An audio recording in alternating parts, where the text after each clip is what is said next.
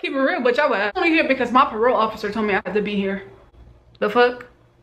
Okay. Uh-huh. Yeah, she only brought me here because she said I got anger issues, but I don't. Hmm. Okay, well, do you get angry sometimes? Hell yeah, I get angry sometimes. The fuck? People be getting on my motherfucking nerves. Shit, it's like, damn, bitch. Why the fuck you irritating me today? Oh, wait, wait, wait, wait, wait, wait. Hold on, hold on. Uh, what you writing down? I haven't even told you nothing personal yet. Well, you know, you seem crazy. Girl, I ain't crazy, okay? I'm not. I'm really not crazy, all right? So don't even start with me with that. I'm not crazy at all. I'm really not. I'm not crazy.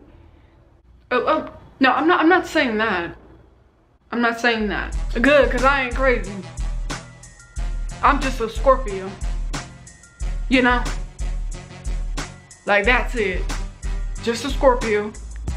Scorpio who speak her motherfucking mind.